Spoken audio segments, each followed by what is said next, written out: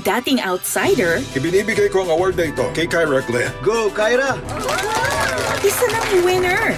Hindi ko alam masasabihin ko, maliban sa ikinararangal ko to. Pero ang pagtanggap sa kanya, Ano bang iniisip mo at binigyan mo ng award ang trialing?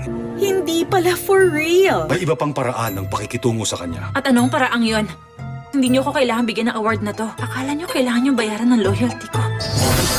The Bureau of Magical Things, Sunday, 11.30 a.m. on GTV.